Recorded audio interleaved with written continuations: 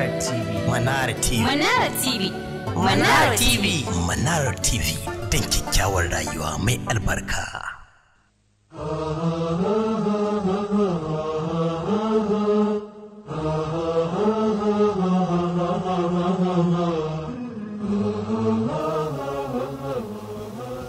Assalamu alaikum wa rahmatullahi wa barakatu.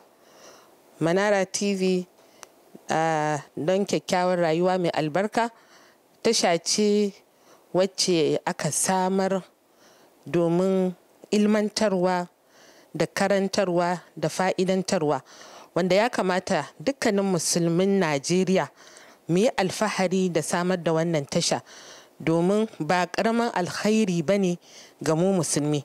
Allah subhanahu wa ta'ala ya taimaki wannan tasha waɗanda suka yi ƙoƙari suka zabura suka sama mana wannan alkhairi a wannan ƙasa tamu Allah subhanahu wata'ala ya riko da hannunsu Allah kuma ya taimake su Allah kuma ya ƙara mana ire-iren irin wannan tasha ta alkhairi a cikin wannan katafaren gari namu Allah Ubangiji ya mana jagora wassalamu alaikum wa rahmatullahi wa barakatu.